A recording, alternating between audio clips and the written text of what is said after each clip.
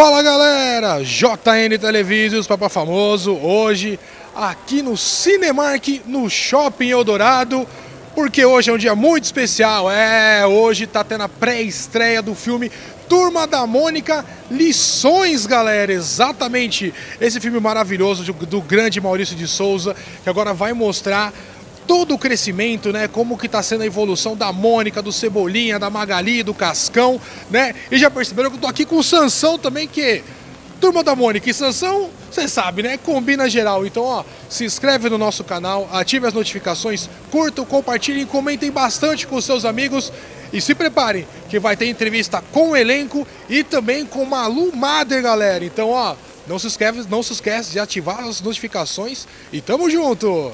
Fala galera, seguimos aqui nessa pré-estreia Turma da Mônica Lições e agora a gente vai falar com o Gabriel que interpreta o grande Cascão. Seja bem-vindo, meu querido. Muito obrigada. Queridão, conta pra gente como que tá sendo pra você a expectativa da pré-estreia desse filme. Bom, é, tá muito boa porque agora tá mais lotado do que lá no Rio, né? Lá no Rio tinha um pouco menos de gente e está muito ansioso pra ver a reação da galera com o filme, né? Então, que bacana. E o que, que a gente pode esperar do Cascão nesse filme? Porque a gente sabe que dessa vez o Cascão vai ter até aula de natação, né? É, isso vai ser um pouco complicado, né? Mas vocês vão ver no filme, não posso dar muito spoiler.